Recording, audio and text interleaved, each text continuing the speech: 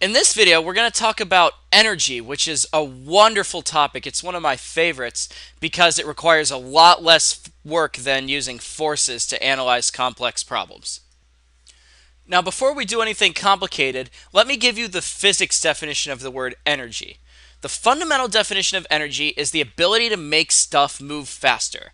And by stuff, what I mean is mass. So if there, if you have some mass and you can make it speed up, then that requires energy to do. Anything that can make that happen involves energy.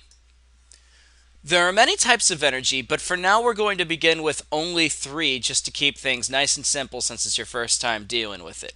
They are GPE, KE, and EPE.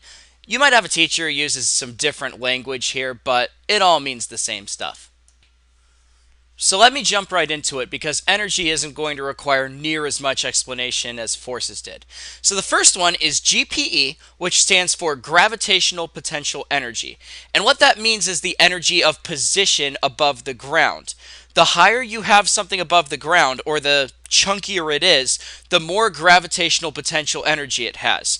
As sort of a way of believing that, if you're laying down on your back and somebody holds a bowling ball two inches above your body and drops it, you're not very afraid.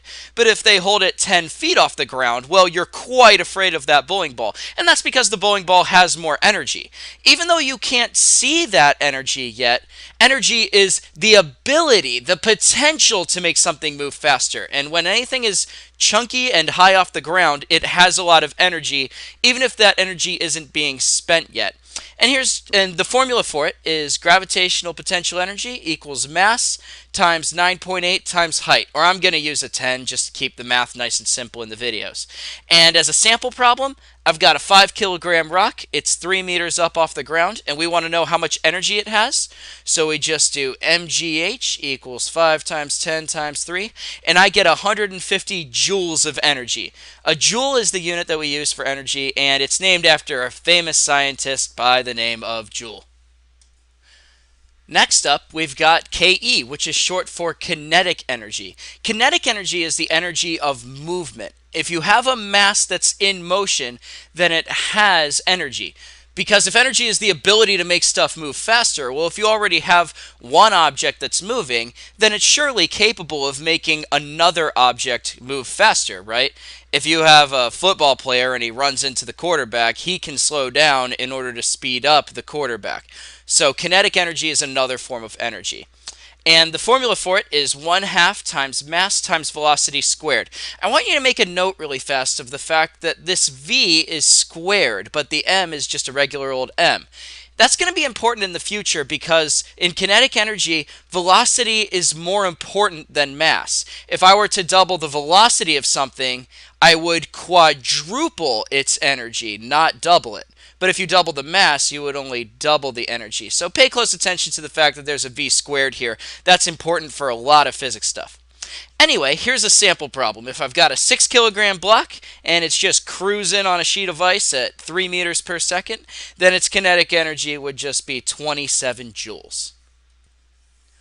Last but not least, we've got EPE, which stands for elastic potential energy. And that's the energy stored in a spring. Anytime you've got an object that's kind of stretchy, where if you compress it or stretch it, it tends to snap back into place, there's energy involved there because when you stretched it, you allowed it to create motion in the spring or in an object attached to the spring. Anyway, elastic potential energy is simply equal to 1 half times the spring constant K times how far you stretch the spring from its relaxation point, which is x, and you square that. Notice how these two formulas are very simple, or similar rather. They have a 1 half and they both have something squared on it. If you've already taken calculus, that should be no surprise to you. That's not a coincidence that those two go together.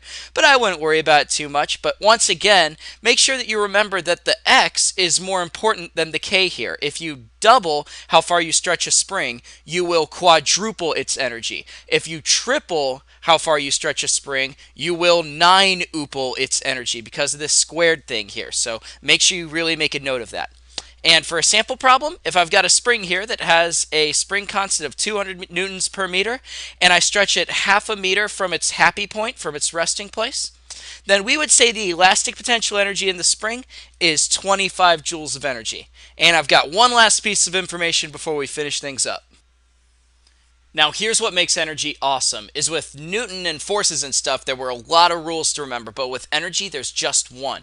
And that rule is that the total energy at the beginning of a problem has to equal the total energy at the end, unless something outside added energy to the system or took it away. Otherwise, the total energy does not change. That's all you really need to know. So the method we're going to use to solve the problems coming up looks a lot like this. We're simply going to make a chart showing all of the types of energy at the beginning of the problem and all the types of energy at the end of the problem. So really fast, if I've got at the beginning of the problem, you have something on a cliff that's compressed by a spring and then the spring shoots it off the cliff.